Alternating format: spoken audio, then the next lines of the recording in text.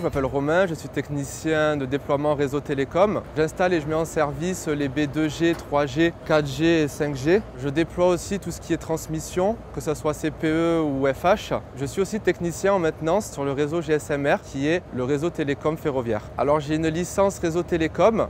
J'ai travaillé un an en tant que technicien bureau d'études et je suis rentré à CRC fin 2015 en tant que technicien GSM. Alors ce qui me plaît dans mon métier, c'est tout ce qui est déplacement. On est amené beaucoup à se déplacer, à travailler dehors, très important aussi. Ce qui me plaît aussi dans ce métier, c'est de suivre l'évolution de tout type de baies. On a commencé par la 2G, 3G, 4G, maintenant nous sommes à la 5G. Le débit évolue, le matériel aussi, nous installons des baies euh, de plus en plus puissantes, des antennes de plus en plus puissantes aussi.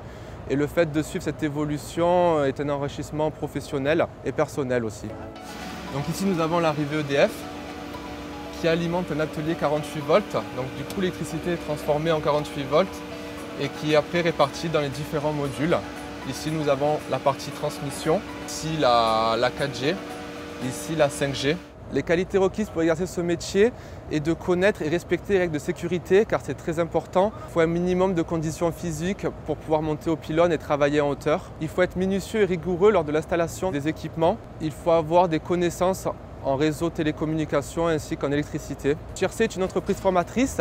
Nous sommes encadrés par des responsables qui sont expérimentés et à l'écoute. L'entreprise permet aussi une évolution professionnelle. Rejoignez-nous